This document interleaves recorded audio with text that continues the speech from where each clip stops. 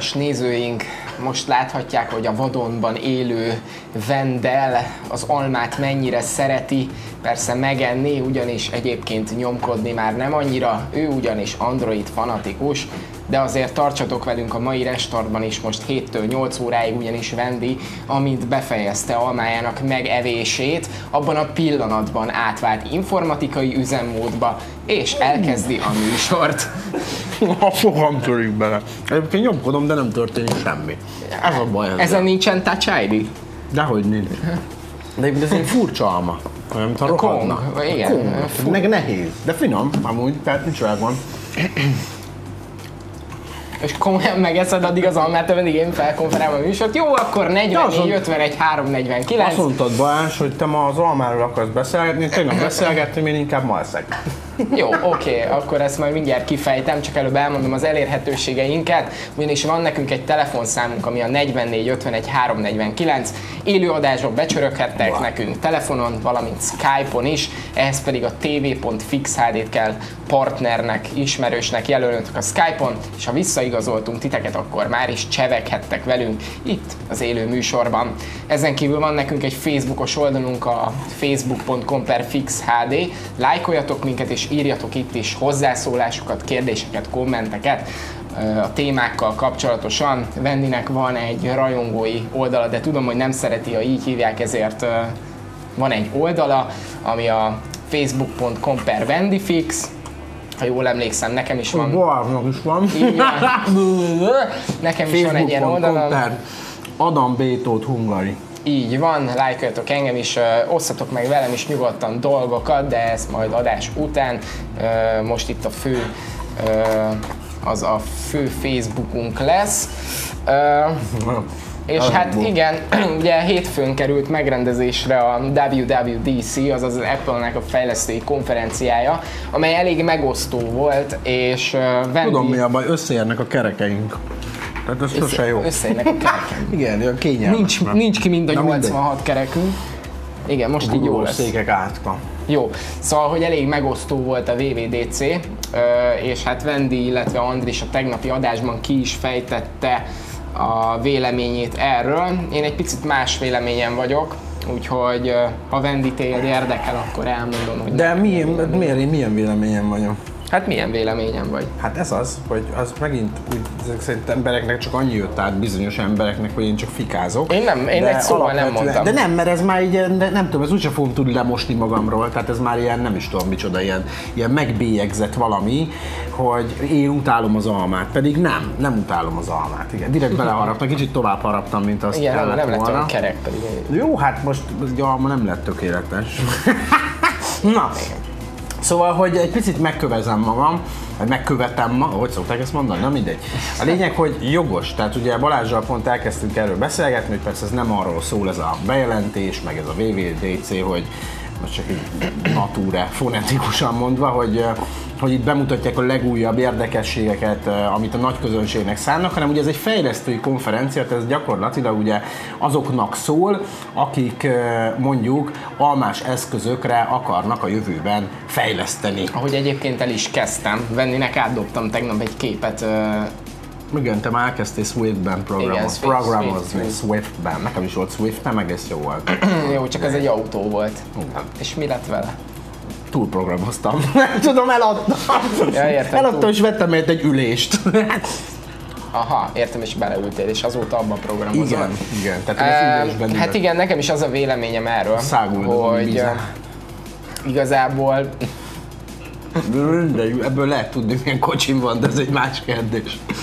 Na, de nem, Swiftből? nem, de igazad, van. nem, most ne, ne Na mindegy, neki, igen, azt, azt, azt hanem- mondtam, hogy igazából az a véleményem, hogy valóban ez nem arra való, hogy uh, sót csináljanak. Persze Steve Jobs ugye szeretett sót csinálni ebből, uh, és ügyesen is csinálta, és ezt a vonalat vitte tovább ugye Tim Cook, illetve a jelenlegi Hát ő csapata. kevésbé csinálja ügyesen, de annál kevésbé unalmasabban így csinálja. Van, unalmas, is- unalmasan, de igen. Jó, de milyen legyen egy fejlesztői konferencia, dögunalom, mert akit nem érdekel, mert nem Na, akar igen, csak hogy, hogy sok ember itt, vár, itt várja az az iPhone meg a húha, miközben ez nem egy ilyen De, konferencia. vá- de nem itt várja, de itt várja azt, hogy valamit elárulnak róla. Hát ha el nem is Ugye? árulnak, viszont lehet sejteni, hogyha megnézed az iOS 9-et, hogy milyen fejlesztések vannak, Na, milyenek? akkor lehet sejteni, például lehet sejteni az iOS 9-ből, legalábbis én ezt szűrtem le nagyjából, illetve a közvetítés, tehát az élő közvetítést végző Horváth András is hasonlókat vélt szűrni, ha jól vettem ki a szavamból, szavából,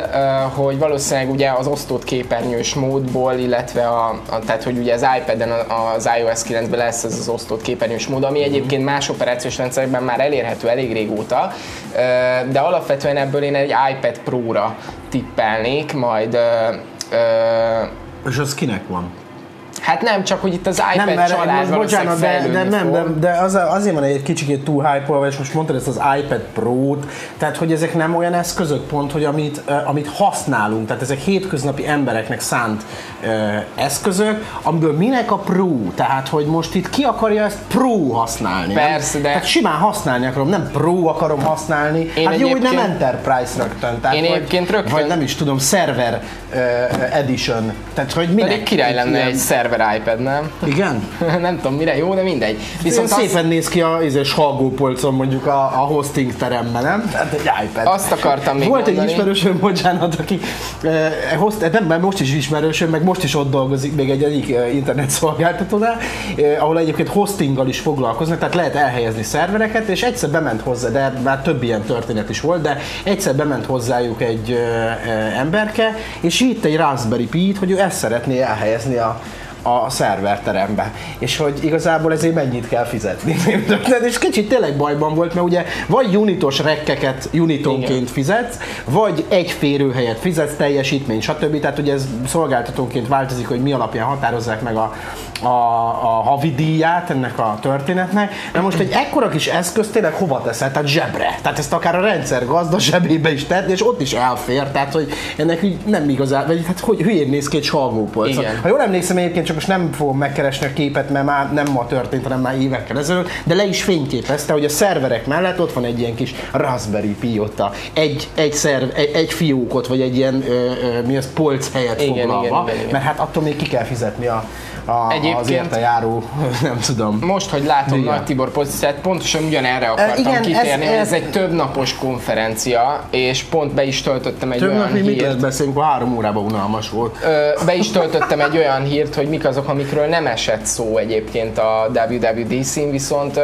ezek is változásos, elég, elég sok ilyen változás, például iPad-en billentyű kombinációk jelennek meg, az OS X-en használható billentyű kombinációk, Billentyű kombináció? Hát nincs is billentyű egy iPad-en. Tehát, hogy... de köthetsz rá. Hát köthetsz, mindenre köthetsz billentyűzetet. Így van. Tehát, hogy, hogy például, mit tudom én, a hat számjegyű jelkód, most így, így csak felolvasok ilyen címszavakat például. Tehát, hogy, hogy, hogy azért érkeztek olyan dolgok, amikről nem esett ugye szó alapvetően ezen a konferencián, viszont több napos, és azért biztos vagyok Hát, hogy benne, hogy a végleges, a dolgokat igen, hogy itt a végleg, végleges operációs Mitől fehér rendszerben a azért fehér? biztos, hogy lesznek, igen, tehát biztos lesznek még újítások. Jó, akkor itt Tibi posztját elolvastam, és akkor megkövetném magamat valóban. Tehát ugye azt írta Tibi, egy! Tehát mint első pont, hogy ahogy elmondtátok, a VVDC egy többnapos fejlesztői konferencia, azaz nem a hobbi felhasználók szórakoztatása a célja. Jogos. Kettes pont. Köztudott, hogy az Apple az optimalizációra, sebességre, stabilitásra koncentrál, tehát senki ne várjon hatalmas új szolgáltatásokat, funkciókat.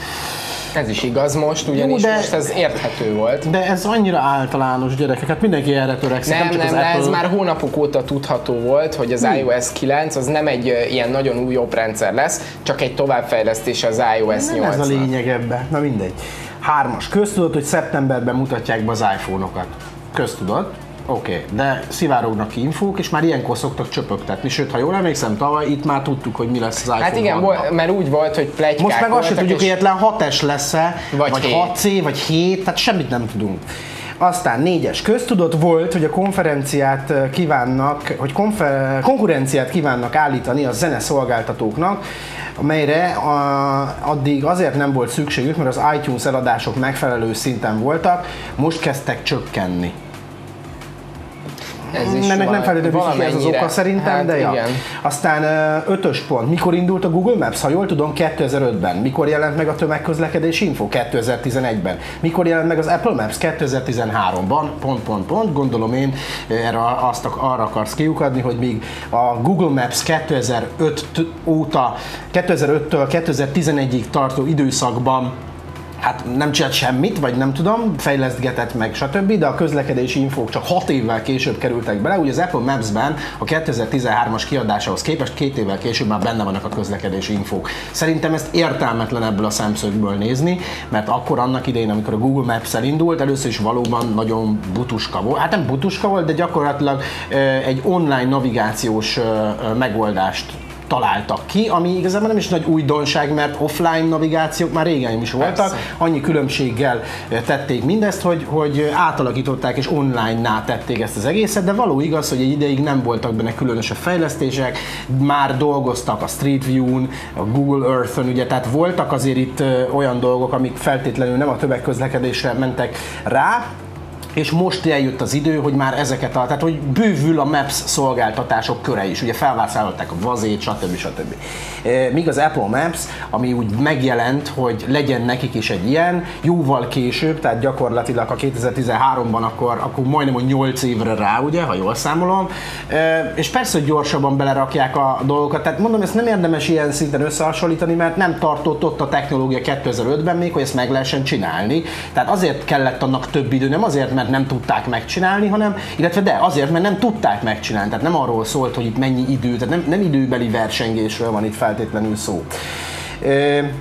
Az osztott képernyős multitask, ha jól tudom, még nincs a gyári Androidban, de javítsatok ki, ha tévedek. A Samsung csinálta meg ezt tavaly. Egyébként a kódja, a kód kezdeménye már a tavalyi iOS 8-ban is benne volt, csak nem aktiválták. A Samsung ezt nem tavaly csinált egyébként meg, Hanem hanem, már- még 2012-ben. Igen, és itt, itt nem, nem a Google-re, tehát megint, tehát a Tibin érzem, vagy Tibi, igen, Tibin azt érzem, hogy itt megint ugye a harc része jön ki a dologból, hogy hogy mint hogyha azt akartam volna én sugalni, ugye, hogy ugye bezzeg a Google már megint ugye sokkal előrébb tart, mint az Apple, közben nagyon nem erről van szó, tehát a multitasking, mint úgy, eddig azért nem került bele egy csomó eszközbe, teszem az az Androidban sincs, valóban a gyáriban nincs benne, Ekkora a képernyőn nem is biztos, hogy nincs van értelme. igen, bár a Samsung beletette ekkora Tudom, igen, képernyőre is. enyémben is benne van.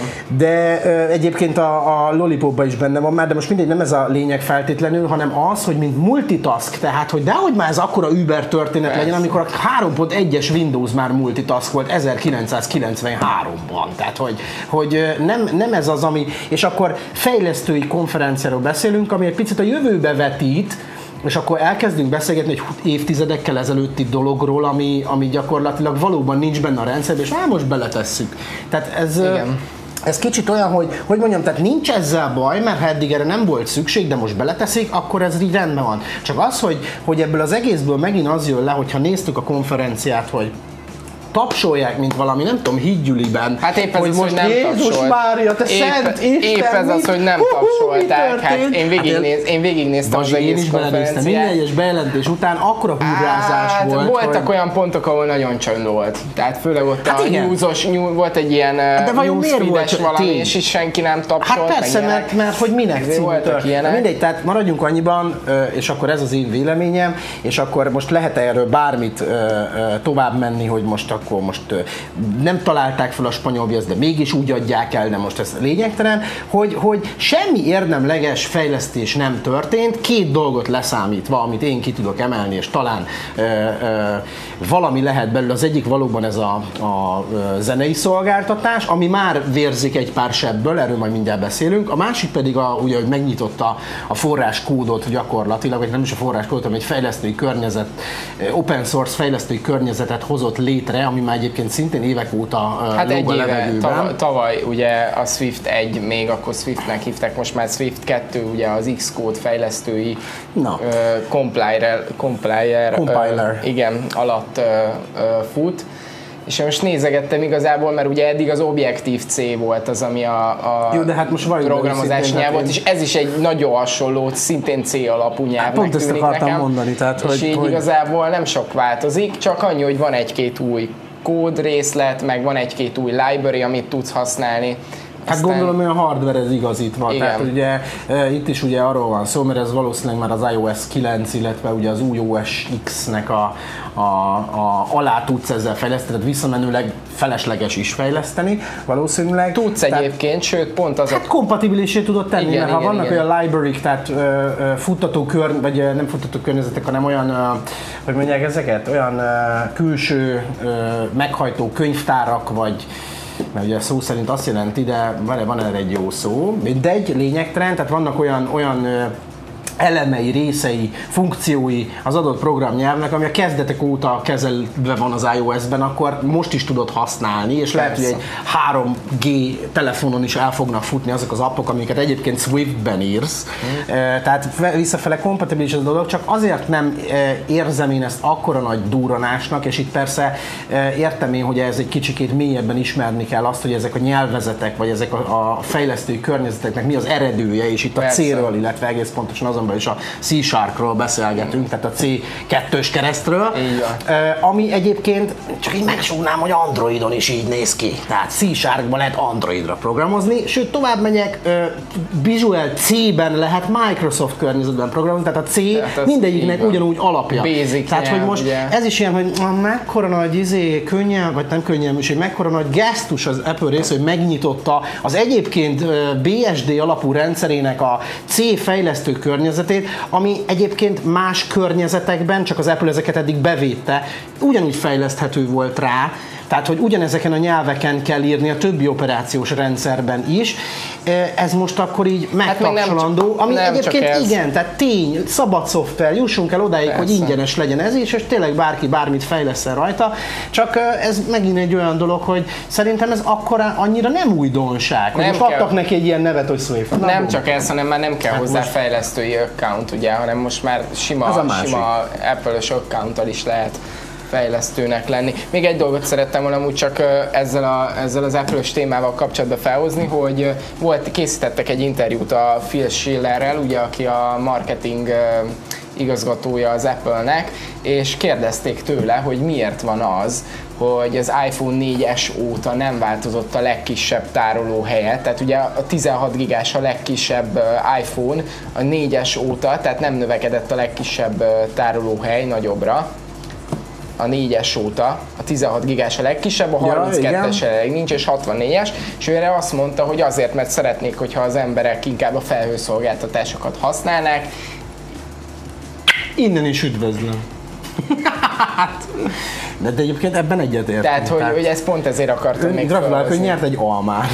Hát, de nem, de tényleg, tehát ugye ezt magyaráztam pont tegnap is, vagy azt hiszem pont tegnap volt erről megint csak szó, igen, hogy tároljunk felhőben, és akkor nincs szükség arra, hogy itt feltétlenül gigákról, meg 500 gigás microSD, és most már például az Androidnál eltörölik a következő Android verzióban az, hogy egyáltalán legyen korlátja annak, hogy milyen háttért. Hát majd csak a hardware lesz a korlát egyébként valamilyen Hát Igen, szinten, csak hogy, 64 hogy gyakorlatilag, ahogy ez így, ö, tehát ilyen evidens lesz, hogy idő után minél nagyobb tárhelyet lehet használni, mégsem lesz rá igény, mert gyakorlatilag fölköltözünk a felhőbe, ahol már szintén szinte mindenhol korlátlan tárhely van. Legalábbis ugye az alapszolgáltatóknál vagy az alapján drive szolgáltatásoknál bizonyos funkciókra, fotótárolásra, videótárolásra már például a Google esetében is korlátlan tárhely áll rendelkezésre bizonyos megkötésekkel, mert nem lehet 16 megapixelnél nagyobb, most már hiszem odáig felvitték a, a képeknek a nagyságát. Mert eddig 2 Eddig két megapixel mega volt, volt, amit igen. nem számolt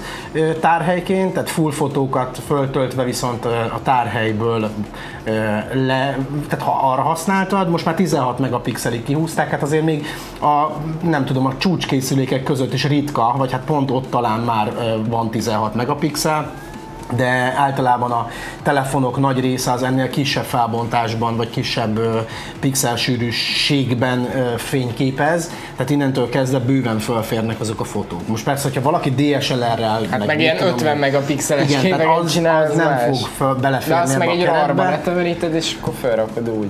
De az, az már De az megint meg más, már mert az meg nem a fotó-videó kategória. Lényegtelen, most csak ezt mondom, hogy felhő, és ebben viszont minden gyártó igazából ezt, hogy mondjam, előszeretettel ajánlja mindenkinek, nem véletlenül, ugyebár. felhő előnyeit most hagyd ne kezdjem már még egyszer sorolni. Tudjuk, hogy mik az előnyei. Na, hát igen, van még valami, amit el akarunk mondani a Nem, sőt, igazából már pont azt olvasom, hogy, és egyébként egyetértek vele Attillával, hogy ez a VVDC már így kezd unalmas is lenni egy picit igazából, hogy ennyit beszélünk róla. Csak gondoltam én is kifejtem róla a véleményemet, csak azért, hogy nem maradjak egyedül, aki, aki nem mondtam el. Jó, Nem, Attilának minden unalmas, ami, amiről beszélgetünk, és őt mondjuk nem érdekel, de egy csomó embert meg lehet, hogy érdekel Attila. Tudom, mert tegnap is puffogtál. Láttam, hogy puffogtál. Jó, hát ez most ilyen volt. Tehát most ez Hát de most mi? Hát volt, basszus, ez egy hír, amiről most szólnak a Igen. dolgok, elmondtuk a véleményünket róla. Most bocsánat, hogy mi szerkesztjük az adást. No, menjünk tovább. Azt mondja, sziasztok, tegnap kérdeztem az okos órát, és azt szeretném mondani, hogy köszi a választ, engem érdekel a válaszod, Vendi, jó a műsor. Köszönöm, Viktor. Hát gondolom én, hogy ezért is nézel, mert ha nem érdekel, akkor nem nézel, gondolom Ez én. Tehát, hogy ez ennyire egyszerű ez a történet. Aztán Andris Vendi, féltékeny vagy, hogy nem te találtad föl azokat, amiket az Apple most bejelentett. Szégyeld el magad. Hú, ez, annyira várj, szerintem ez féltékeny ilyen vicceskedő, Hát szégyeld el magad. Hát én úgy szégyellem magamat egyébként, hogy nem én találtam föl. Ja, nem azért szégyellem magam, hanem azért, mert, Mert nem mert irigy vagyok, ja, nem féltékeny vagyok. Ja, hát persze. Mert aztán engem annyira érdekel, hogy mit talál fel az Apple, hogy én biztos féltékeny leszek rá. Megeszem mindent. Kéne, Na. most kellett volna felvenned azt az Android beleharap az almába című Tényleg. pólót. Kezdjük újra az adást, hazamegyek a pólóért. Kedves nézőink, Addig Bazsi csinálja. Jó, na tényleg hagyjuk ezt a DVDC-t, mert effektíven most már kiveséztük. kiveséztük, és annyi, ennyit tényleg nem ér a történet, és jogos fejlesztői, tehát nem, nem, a, nem a hétköznapi embereknek szól. A hétköznapi emberek maradjanak csöndbe, és várják meg az őszt, amikor majd kapnak egy újabb iPhone-t kész. Aztán lehet örülni, meg lehet sorbálni a boltok előtt három napos hideg élelemmel. Menjünk Roland hozzászólására. Hello ismét, ha már gyümölcsös napunk van, akkor nem csak Apple, Samsung, Sony, LG van a piac, mobil piacon jelen, hanem még egy régi híres telefonmárka, a BlackBerry is. Ó, hát tényleg, meg van vele. Kiszivárgott, kiszivárgott fotók az új BlackBerry Oslo, Oslóról. Már szegény Oszlóban van, nem csodálom, hogy nincs róla szó. Oszlódik. A kanadai vállalat szolgált néhány érdekes eszközzel az elmúlt évben, és úgy néz ki, hogy ismét egy új QWERTY készülékkel állnak elő, ugye az azt jelenti, hogy fizikai billentyűzet van rajta. Pedig a mai világban. mint a bi- laptop billentyűzet. Hát a például. BlackBerry, ez BlackBerry. E, tudásáról sok minden nem derül ki, csak pár info, Snapdragon 800-as processzor lesz benne, 13 megapixeles hátsó kamera, 3 GB memória, 3450 mAh aksi, a BlackBerry jó, szép, megbízható telefonokat gyárt mindig, amúgy meg nem is csúnya a készülék. Üdv Roli! Ez Roli véleménye még mielőtt itt ilyen túl nagy reklámot szánnánk a Blackberry-nek. Erről is megvan a véleményem. Való igaz, hogy a BlackBerry az, az egy, nem egy csúnya készülék, vagy hát legalábbis ez ízlés kérdése egyébként. Üzleti Akár csak- telefonnak. Igen, tehát akár csak az Apple, vagy akár csak bármelyik készülék ízlés kérdése, hogy kinek mi jön be külsőre, de hát ugye így választunk telefont, ez is egy fontos szempont tud akár lenni, tehát egy csúnya telefon, még ha nagyon okos is, lehet, hogy az ember úgy nem szívesen Külső megfog, a hardware meg megtart. Tessék, ezt valahol fölírjuk, de így van egyébként. Tehát, hogy úgyhogy, hát igen, csúcskészülék lévén, vagy hát ugye, ugye üzleti szférában szánt készülékről beszélünk, tehát alapból általában ezek elég, elég izmos készülékek, tehát nem nagyon van belőlük olyan, amilyen kis egyszerű azért az a belépő három szintű, az belép, belépő szintű BlackBerry olyan nincsen, sosem volt igazából, tehát ez mindig a közép-felső vagy kapásból a prémium kategóriát e, célozta meg. Egy gond van vele, hogy ugye a BlackBerry jó néhány szolgáltatásához külön, hogy úgy mondjam, előfizetés szükséges, hiszen ez egy úgymond egy zárt rendszer, mind az e-mailezés, mind az üzenetküldés, Hát igen, sok, sok. illetve az applikációkról meg olyan szinten, hogy, hogy megint egy olyan rendszerről beszélünk, ami semmivel sem kompatibilis, csak és kizárólag önmagával, és mivel eh, annyira nem népszerű ez az operációs rendszer, illetve ez a fajta készülék, egy időben népszerű volt, főleg az üzleti szférában. Most már, hogy igazából az összes okos telefongyártó ki tudja szolgálni az üzleti szféra igényeit is, így a BlackBerry elvesztette azt a fajta egyeduralmát az üzleti szférában, hogy csak és kizárólag azért vásárolnak ilyen készüléket az emberek, mert ezt tudják üzleti célokra használni. Tehát nem tud versenybe kelni, ráadásul a cégnek sem megy amúgy sem jól, úgyhogy Egyébként ugyanúgy nem tudom. próbál presztízsből fönnmaradni, de mondom, ez saját véleményem. Most csak egy tipp őrizzen, hogy én- egyébként, hogy, hogy vakoknak például nem lehet rossz érted, hogy fizikai billentyűzet és érzet, hogy hol vannak a billentyűk, míg mondjuk egy érintőképernyős telefonon egy vak azért, ha De SMS-t ír, csak Balázs, nagyon jól tudod, tud. hogy nem ír, tehát hogy pont erről szólnak a hangalapú szolgáltatások, majd nem kell írni, beszélsz a telefonhoz és csinálja, tehát ugye nem véletlen Hát jó, találják ki, tehát ugye egyre kevésbé van szükség, hogy fizikailag nyúljunk a készülékhez hozzá. És Igen. ugye pont az ilyen kisegítő lehetőségek az esetleges fogyatékkal élőknek, ez pont abban, pont, pont ezek a fejlesztéseknek jó része, az ilyen hangalapú, meg beszélgetünk a készülékkel, és ö, ha- hang ö, utasításokat adunk neki, ez például nekik van kitalálva. Nem annak, hogy mi csevegjünk a sirivel, meg ilyesmi, mert az, ez a része egy olyan embernek, aki, akinek erre úgymond semmi szüksége nincs, például nekem,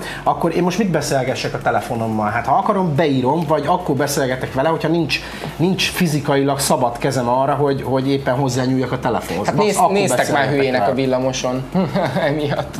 Na, úgyhogy, úgyhogy én nem feltétlenül gondolnám, hogy ennek olyan a fizikai billentyű, ez megint egy olyan dolog, hogy, hogy nehéz megszokni, én is higgyétek el, aki világ életében ö, ö, a hardveres billentyűzethez voltam szokva, még most is nehezen írok ö, ö, érintőképernyőn. Rengeteg ütéshibám van, tehát ír, írom és elrontom, és ugye az ember, ha nem figyel oda, akkor, akkor elküldi úgy, és értelmetlen maszlakságokat küld el, vagy azért nem találsz meg valamit, mert rosszul írtad be, majd vissza akarsz menni javítgatni, akkor ezer évig tart, mire ott pont megtalálod, hogy Ja. hova pozícionál, stb. Tehát, hogy kicsit nehézkes valóban mind a mai napig érintőképernyős telefon billentyűzeten keresztül írni. A fizikai billentyűzet valamelyest egyszerűbb ebből a szempontból, mert tényleg fizikailag nyomod le azt a gombot, tehát nagy valószínűséggel jobban érzékeled, hogy ha elütöttél valamit, mint hogyha egy érintő képernyőn, bár ott is van rezgés, de attól még ha mellé ütsz, az nem ugyanúgy.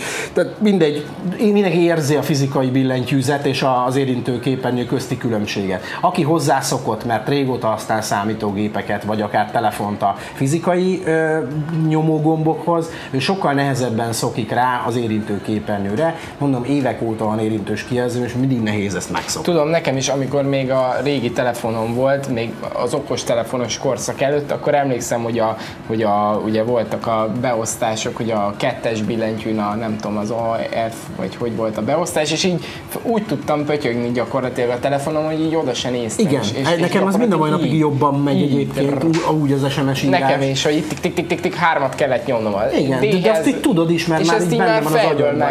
igen, pontosan, tehát tudtam úgy SMS-t írni a kocsiba, nem, sose csináltam ilyet. Nem. Hogy gyakorlatilag vezettem, és közben oda sem néztem, és elküldtem az SMS-t. És jót küldtem, nem volt benne még helyesírás hiba sem. Most meg érintő képernyőről a, a billentyűt nem tudom feloldani, nem hogy izé SMS-t írjak, mert azt elütöm egy csomószor. Úgyhogy más, igen, tehát hogy, és pont a BlackBerry esetén ugye, mivel alapból üzleti célú felhasználásra van, ugye nagyon sokan, akiknek ilyen készülékük van, ők tényleg erről használják az e-mail írástól kezdve nagyon sok mindent. Én bevallom őszintén, ugyan olvasom az e-mailjémet a telefonomon, de írni e-mailt nagyon ritkán szoktam, max forwardolgatni szoktam, vagy ha olyan e-mailről van szó, amiben elég ha annyit írok, hogy oké, okay, vagy köszi, vagy bármi, tehát rövid válaszokat, azt megírom a telefonról, de hogy én kétoldalas e-mailt írjak telefonról, hát, igen. hát nincs az az Isten. Hát egy, me- kettő, én, én soha nem szoktam ö, ékezetes betűket használni Én okos sem nagyon, telefonról. bár e-mailbe illik. Én, igen, és pont ezért van az, hogy nem telefonon írok e-mailt, mert sokkal macerásabb folyamatosan az ékezetes betű, betűket kinyomkodni, mint hogyha leülnék otthon a gép elé és így leírnám. Igen. és ezért inkább, hogyha e-mailt kell írni, ami, amiben muszáj ékezetes betűt használni, akkor inkább gép előtt írom meg, és nem Hát telefonon. amúgy is kényelmesebb. Na mindegy, tehát Hmm. ennyi igazából ez a különbség, nem mondunk se jót, se rosszat róla, a BlackBerry az is egy külön világ.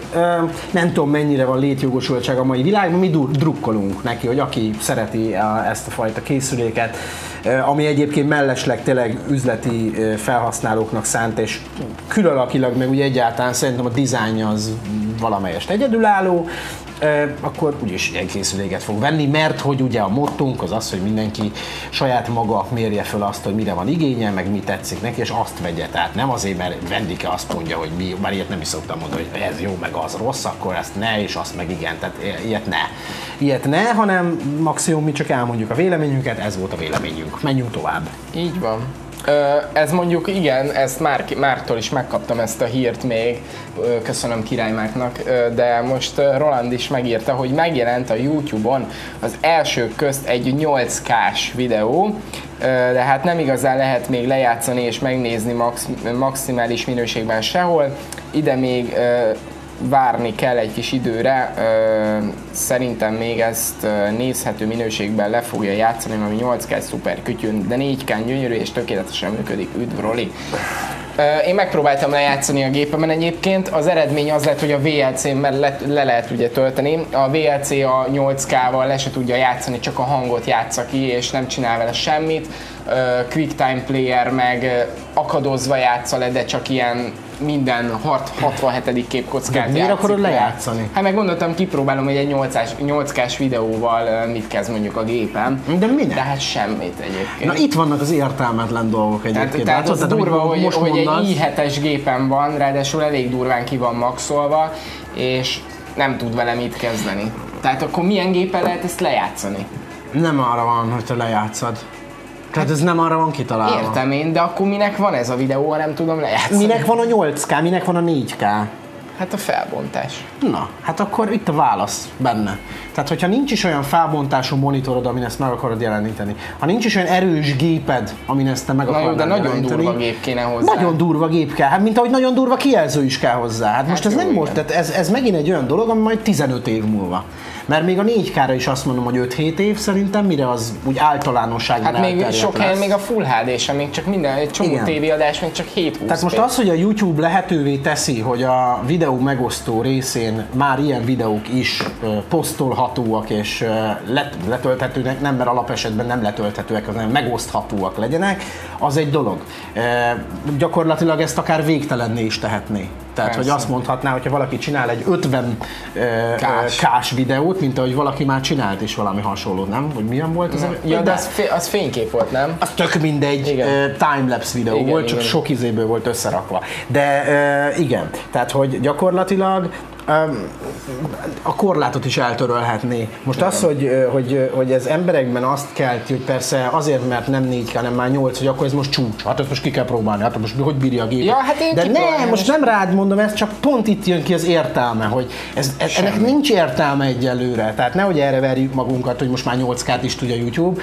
YouTube se veri erre magát, ez szerintem csak úgy, mint feature elérhetővé tette. Ennyi. Hát igen. De lehet, hogy jövőre a 16K-t is elérhetővé fogja tenni, de attól minek? még minek? Amikor a 8K-hoz is kell mondom, szerintem 10-15 év, lehet, hogy 20 is, nem tudom most, hogy a fejlődési ütemet, de abból kiindulva, hogy ez is úgy stagnál, mert igazából a Full HD lett most már az elfogadható, vagy nem is a Full Standard. HD, hanem igaz, maradjunk annyiban, csak a HD, az már a standard. Ö, Ennek ellenére, hát persze megint szegmenseket kell nézni, mert most miben? Tehát, hogy egyszerű webvideóban ö, a 720 körülbelül az, ami a legelterjedtebb, tehát a legtöbb webes videó, ha a statisztikákat nézünk, az 720p. De most már megkezden mindenki átállni ugye a 1080p-s Full HD-s videókra, tehát azért most már egyre több. Most ha kijön egy videóklip, az már tudja, hogy Full HD-ba jön ki.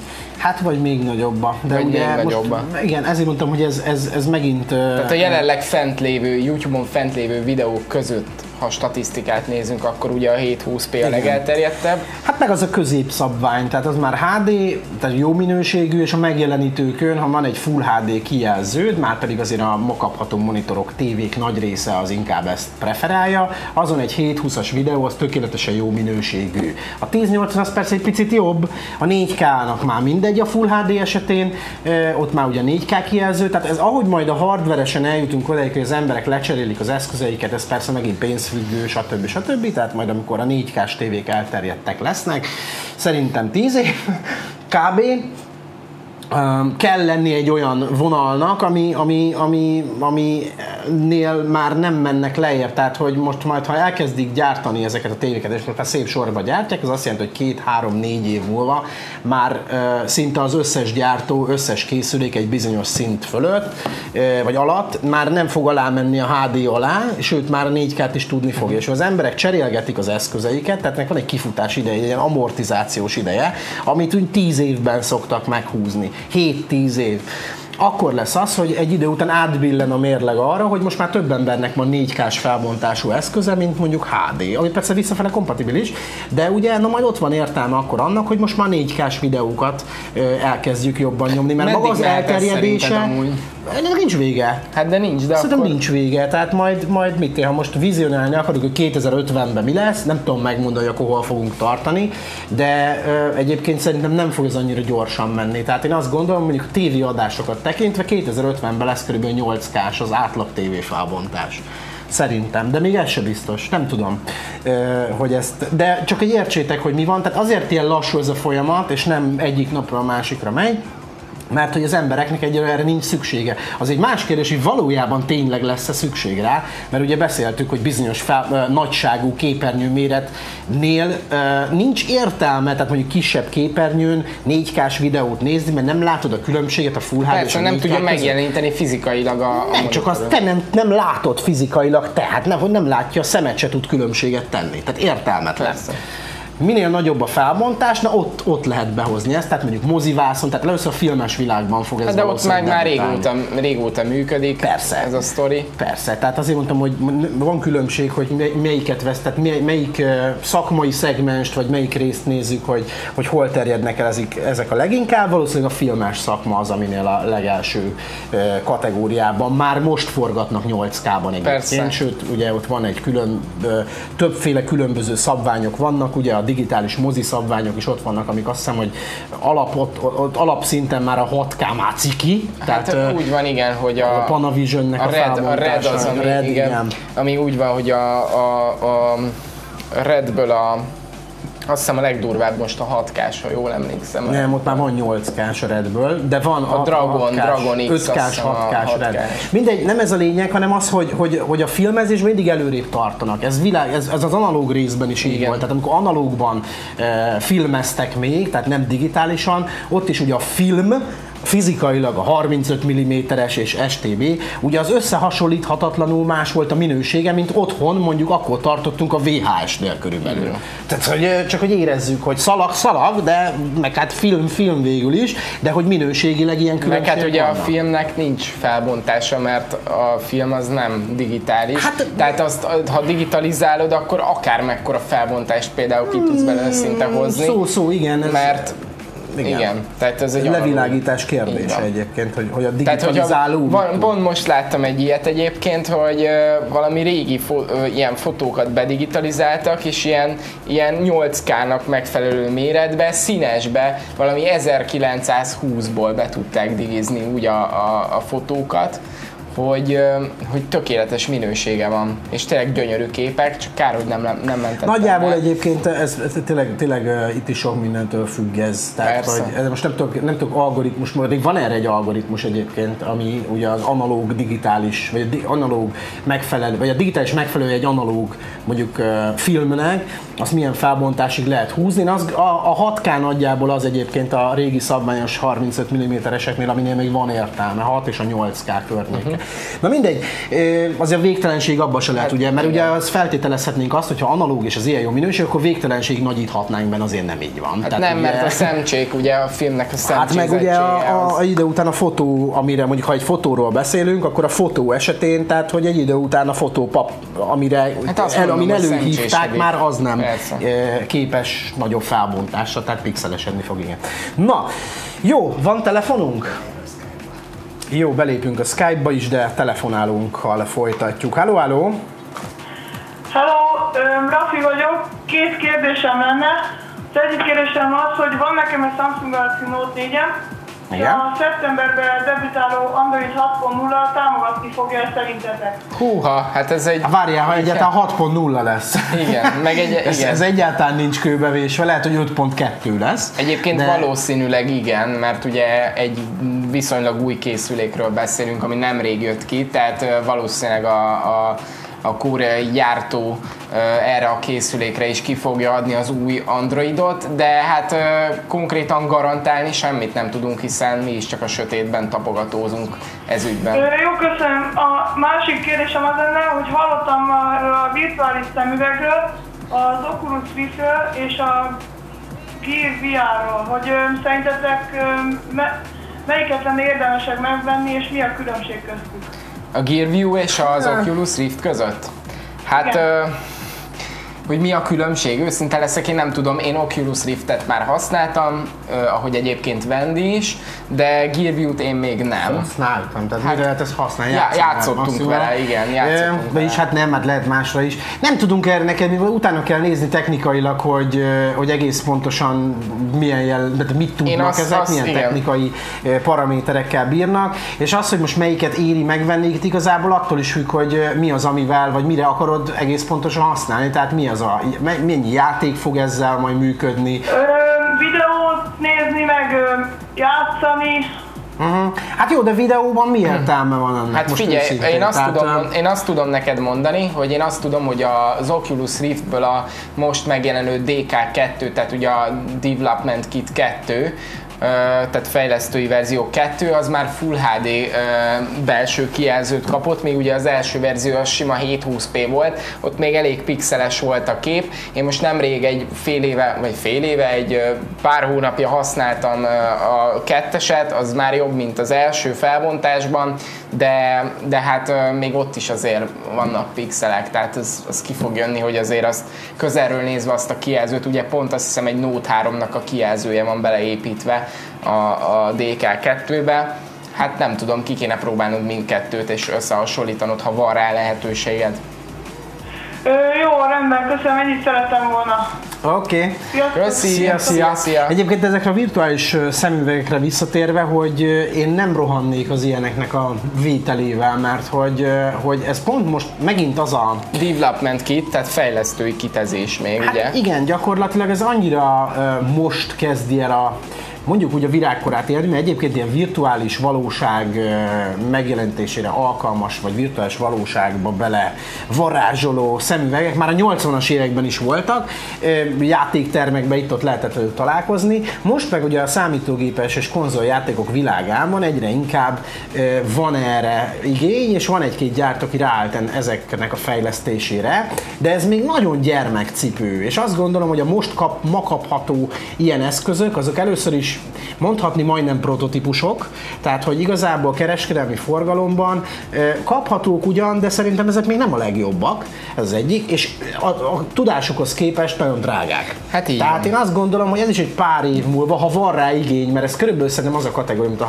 3D egy picit, talán egy fokkal ugye a technológiából kifolyólag más érzést kell. Talán modernebbnek. Modernebb, igen, de talán ugyanaz, mint a 3D, hogy igazából ez legalábbis például nekem nem ad akkora akkora feelinget. Mondjuk az Oculus, az Oculus nekem volt nekem szerencsém egy, egy, valamilyen olyan, nem is játék, hanem egy olyan demóval megnézni, amikor egy ilyen hullámvasúton igen, néz, együtt, és együtt minden irányba tudsz nézni, és elég feelinges. Olyan, és, mint hogyha tényleg, tehát igen, valóban, valóság érzete, tehát a 3D-vel szemben, amit gyakorlatilag ugye 3D-s, mondjuk mozi vagy játék esetén gyakorlatilag csak 3D-ben, csak, hát 3D-ben látod ugye elmozdulni a karaktereket, úgy itt gyakorlatilag ugye, ha mozgatod a fejedet. Az egész tér megvan. Megvan a tér. Olyan, mint hogyha tényleg ott lennél. Igen. Mint hogyha amikor Tehát csak hogy érzékeltessük a különbséget, hogy kb. ennyi a különbség. Viszont ez önmagában még ad egy élményt, de szerintem ez, ez, szóval nem tudom, tehát ez a, a hétköznapi, tehát ez tényleg játékra jó maximum. Hát nem csak tehát, játékra, oktatási célokra is használható lesz, de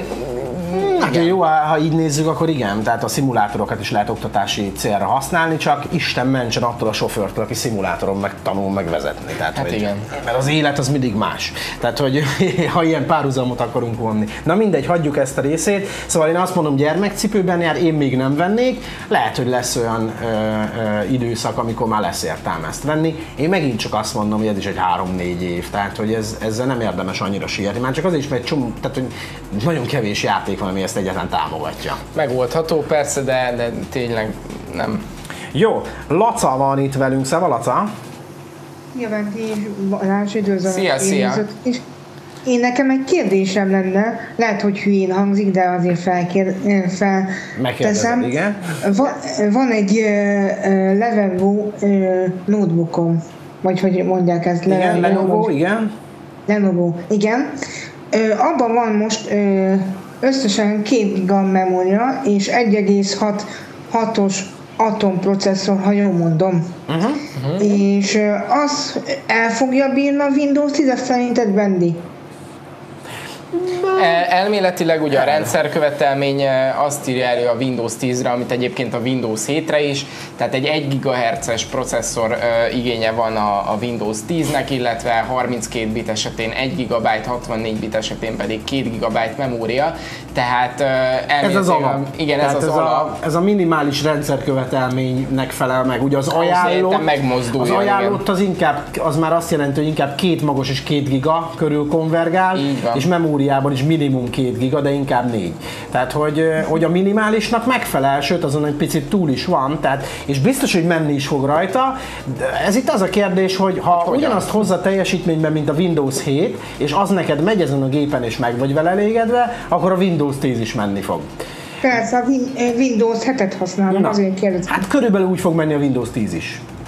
Jó, oké, Jó, illetve szépen. egész pontosan egyébként, ugye azért azt ne felejtsük el, hogy amikor frissítesz Windows 10-re, illetve most, ha már Windows 7 akkor elvileg kellett, hogy kapjál már értesítést róla, hogy Igen, milyen igen, lehetőségek eh, vannak a Windows 10-zel kapcsolatban. Ott elvileg felméri a gépedet, hogyha rámész a, a további tudnivalókra egy program, hogy valóban alkalmas rá, ugyanis ez nem csak attól függ, hogy a gépedben milyen proci van, meg mennyi memória, hanem az egyéb más hardware eszközöknek a kompatibilitásától is függ. BIOS-tól is például, Értem. ugye. Igen, tehát hogy, hogy ezt azért csekkold le előtte. Nagy valószínűséggel menni fog, mert elég ritka az, hogy nem, de ettől függetlenül lehet, hogy lesznek olyan perifériák, amik lehet, hogy nem feltétlenül fognak optimálisan futni rajta. Bluetooth eszköz, vagy Wi-Fi. Igen, tehát az ez ilyen adapterek.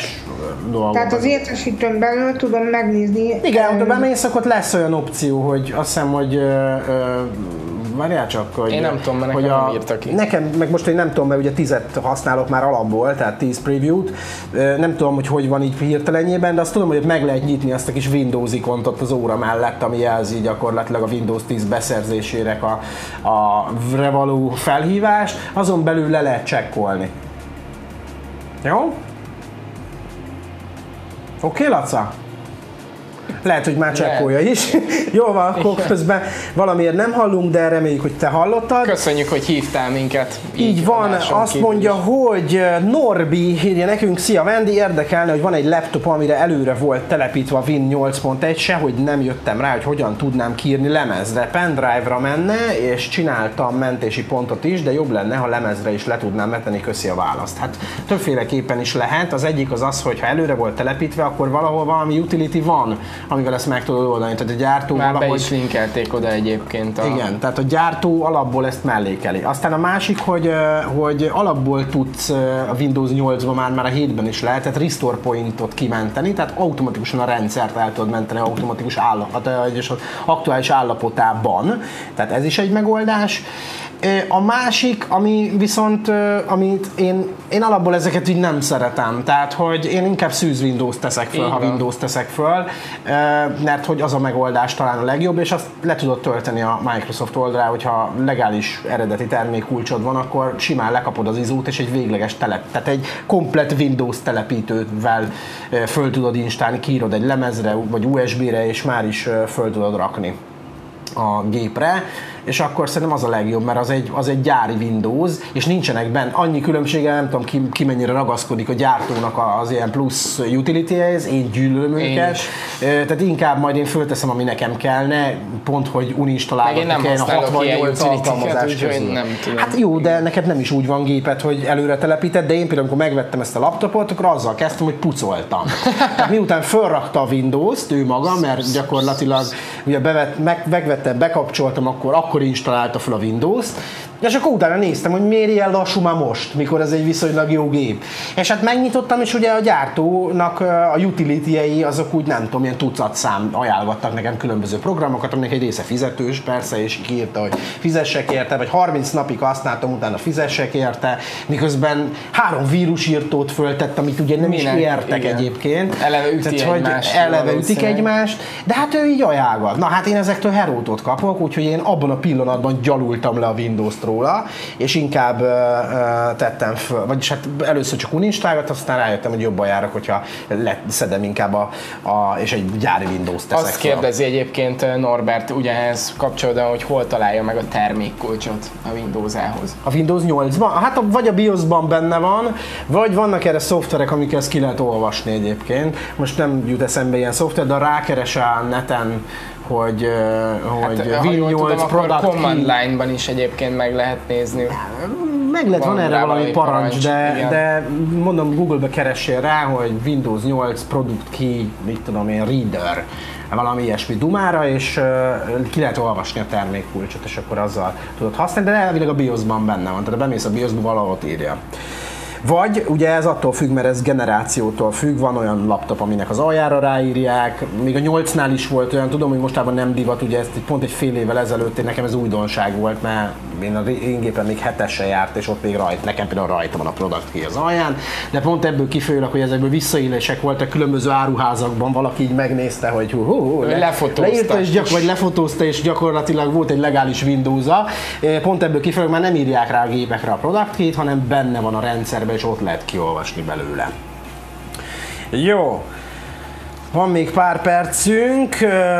Bazsinak Boatit ajánlja, hogy Bazsi és mindenki itt van a lejátszó, ami elvileg akadozás nélkül képes lejátszani óriási felbontású videókat hanggal és minden együtt, mivel ez arra van kifejlesztő, hogy minél jobban kihasználja a processzort és a videóprocesszort Így van, együtt. ez ugye. Ugye a Media Player Classicről van szó, nem. Vagy legalábbis ö, ö, oké, okay, használjátok, ha, ha elmondhatom azt, hogy én Persze. miért nem Igen. szeretem az ilyen programokat. Azért nem szeretem az ilyen programokat, mert először is kodek kell hozzá. Így van, én is ezt Ugye? Tehát, hogy, mondani. hogy ugye ez önmagában nem tartalmazza a kodekeket, persze valami pegbe szedi le az ember, mely kodek pak csomag része, akkor persze bejönnek a kodekek is. Viszont önmagában ez a lejátszó, ez, ez csak egy lejátszó, amivel egyébként semmi gond nincs, egy kicsit felturbózott klasszikus media player, ugye ezért is egy media player classic a neve. Kodek kérdése ugyanis az, hogy mi mit tud lejátszani. Na most a másikra visszakanyarodva a 8K-s meg az óriási képfelbontású videókra, hogy lehet kodeken belül ugye itt a GPU kihasználás, ugye vannak kodekek, amik jobban kihasználják a GPU-t, vannak kodekek, amik kevésbé. Tehát ez sok mindentől függ. De egy gép, ami mondjuk egy átlagos, mondjuk i7-es gép, az nem fogja lejátszani a 8K-s videót, ha mégis lejátsza, akkor butítva játsza le. Van az úgynevezett post-processing nevezetű eljárás, ami videó lejátszók esetén állítgatható, Hát, vagy proxy hogy mód, mert olyan is van. mi az, hogy proxy mód? Mint, mi, a- mint például a vágásnál.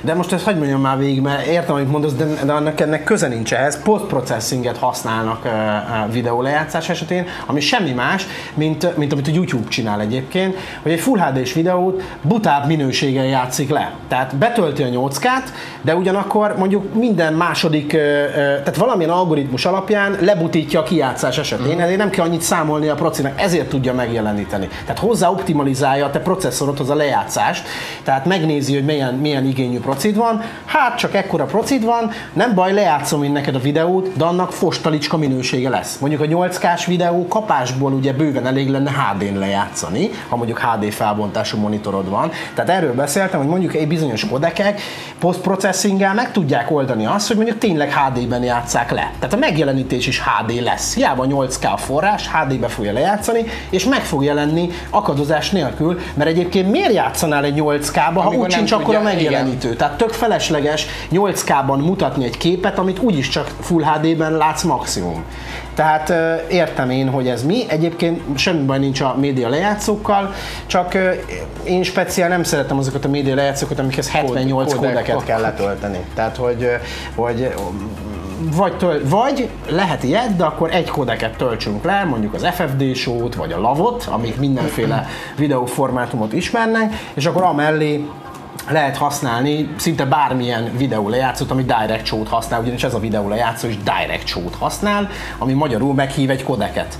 Vannak azok a videó lejátszók, amik beépített kodekeket tartalmaznak, tehát nem hív meg külön ö, ö, kodeket, hanem be van építve magába a lejátszóba, hogy mit támogat, ilyen például a VLC Player, vagy a ugye az FF Play, hogyha mondjuk valaki az FFmpeg-nek a videó lejátszóját használja, ugye ő is az FFmpeg kodeket hívja meg, de ez be van építve magába a lejátszóba. Tehát nem kell hozzá külön kodek csomagokat telepíteni. Meg például a VLC-be is be lehet állítani, hogy használjon videókártya gyorsítást, tehát hogyha ki akarod használni a videókártyádat, be tudod És kapcsolni. post-processing is van És benne. az is Tehát van ma, benne, egyébként igen. csak nem automatikus sajnos, de ott is például, hogyha beállítod a post-processinget mondjuk nulla helyett, ami igazából automatikus, de tehát, vagy nem, azon nincs uh, utófeldolgozás, ugye a magyar, most már tudom magyarul is tényleg eszembe jutott, utófeldolgozás, tehát a post-processing. Tehát, hogyha beállítod nullára, akkor nem, nem utófeldolgoz, viszont ha beállítod 6-ra, tehát a maximális, azt hiszem 6, 6 lehet, 6-ot lehet talán a VLC-ben állítani, akkor, akkor ő hatszoros utófeldolgozás algoritmust futtat végig a képen, ami azt eredményezi, hogy mondjuk viszonylag szépen be tud állítani egy ilyen videó lejátszást is, és jól fogja neked lejátszani. Bár itt egy másik kérdés, hogy az ilyen post-processingek mennyi processzort zabálnak pluszba, hogy kiszámítsák, hogy mi az a, mi az a megjelenítéshez szükséges erőforrás. Ami- Tehát ne felejtsük, hogy minél többet akarunk számoltatni a géppel, és még plusz feladat is Annál annál lassabb lesz. igen. Tehát egy idő után egyébként ez se biztos, hogy feltétlenül megoldás. Na, vége. Sajnálom, Lacira már sajnos nincs időnk, meg láttam, hogy másik Laci is már vissza akart bennünket hívni, de hát kifutottunk a műsoridőből, úgyhogy köszönjük szépen a figyelmet. Uh, holnap is restart velem, pénteken, meg ha minden igaz, akkor megint együtt. Ugye? Szerintem, igen. Igen, igen, mert Marci megint nem tud lenni, úgyhogy Akkor szerintem... restart extrázunk meg pénteken. Igen, köszönjük a figyelmet, jók legyetek, szavaztok! Ciao!